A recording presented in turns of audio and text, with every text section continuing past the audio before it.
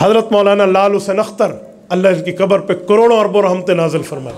ख़त्म नबूत के मुनाजर थे अमीर अजीमत मौलाना नवाज़ जंगवी शहीद रहमल्ला ने इनसे पढ़ा है, ये उनके उस्ताद हैं।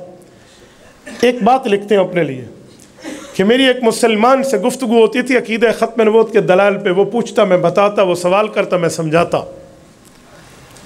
एक दिन उस मुसलमान ने मेरे सामने आकर एक बात की कि हज़रत, जो आपसे पूछता हूँ, उधर कादियानी उस्ताद को बताता हूँ। और जो उससे पूछता हूँ, इधर आपको बताता हूँ। आप उसका सवाल तोड़ते हैं, वो आपकी दलील तोड़ता है। तो मेरे उस्ताद ने आज एक बात की है और इंसाफ की की है। तो ये कहते मैं बहुत परेशान हुआ कि बंदा कॉलेज का है, सादा है, न्यू जनरेशन है।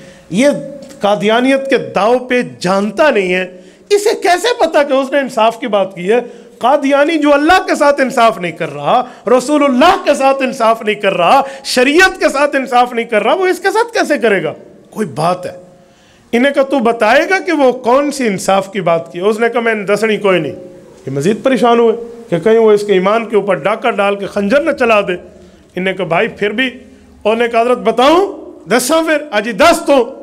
वो बात यह है मुझे मेरे उस्ताद ने कहा है, छोड़ अपने उस्ताद लाल हुसैन की बात और छोड़ अपने उस्ताद गुल हसन या पता नहीं इस तरह नाम था इसकी बात। तो आज रात इस्तारा कर ले। रात को सो और इस्तारा कर कि अगर मिर्ज़ा साहब सच्चे हैं तो अल्लाह मुझे इसकी नबूवत से फैज़ अता फरमा दे और अगर गलत है तो अल्लाह छोड़ दे। इस्तारा करेगा? इस्तारे में तो सच जवाब है। इसने कहा, जी, बिल्कुल इस्तारा तो वाकई हदीस पाक में है। मल्ला नदिमा मन इस्तार कि वो बंदा कभी निदामत इख्तियार नहीं कर सकता जो इस्तारे से काम करे। यो अलमुना रसूल सल्लाम इस्तारा कमा यो अलमुनशाहद इबन मसूद फरमाते हजूर इस्लाम हमें जैसे अतहयातलावसलवात सिखाते थे, ऐसे हमें इस्तारे की तालीम फरमाते थे। तो उन्होंने कहा, जी हज़रत, मेरे उस्ताद ने बात ठीक की, आज मैं इस्तारा कर रहा हूँ। इनकी आँखों से आँसू जारी हो। उसने कहा, हज़रत, आप रो रहे हैं? इन्होंने कहा, बेटा, आज सबसे बड़ा वार कादयानी ने तेरे ऊपर किया है। उन्हें कहा सबसे बड़ा वार उन्हें इंसाफ की गल की है जी नहीं, अपने जहर बुझे तीरों में सबसे बड़ा तीर तुझ पर मारा है। उन्हें कहा, वो कैसे? उन्हें कहा, तेरे अंदर शक पैदा कर दिया। जब अल्लाह के रसूल ने फरमाया, ना खातम नबी ला नबी बादी। मैं आखिरी नबी हूँ मेरे बाद नया नबी पैदा नहीं होगा। आज इसने तेरे ऊपर वार किया है और तुझे इस हदीस पाक से ईमान मुतजलजल कर दिया। तू शक पे आ। उसने कहा, हज़रत, जो बात देखे नहीं तो उस पर इस्तारा ठीक नहीं है। इनने फ़ौरन कहा इन्हें कहा, किसके बेटे हो? मैं मिसाल दे रहा हूँ, उसने कहा, मैं अल्लाह बख्श का बेटा हूँ। इन्हें कहा, आज इस्तारा करना कि आप अल्लाह बख्श के बेटे हो या अल्लाह बख्श के पड़ोसी के बेटे हो? उसकी आँखें फटी रह गई। क्या कह रहे हैं? आप मेरी अम्मी के ऊपर एतराज़ कर रहे हो? नहीं बेटे इस्तारा करना।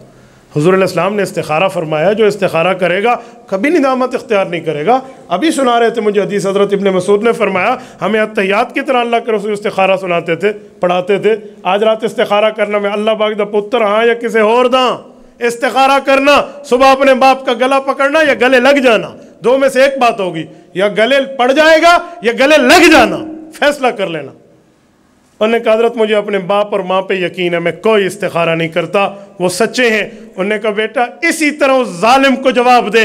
जाओ लानती तो मुझसे अकीदे नबूत और ख़त्म नबूत में इस्तारा कराता है। मुझे अपने माँ बाप से बढ़ के अल्लाह के रसूल की बात पर यकीन क्यों? ला युमिनु, वो बंदा मुमिन नहीं हो सकता। अहदुकुम हत्ता अकून अहब्बा इलई यहाँ तक के मुझसे सबसे बढ़ के प्यार करे मैं वालिद ही अपने अब्बू से और अम्मी से बढ़ के वह वलद ही औलाद से बढ़ के वह ना से कायनात के लोगों से बढ़ के। हज़रत अनस की रिवायत सही बुखारी मौजूद, उन्होंने कहा अच्छा मुझे समझ आ गया।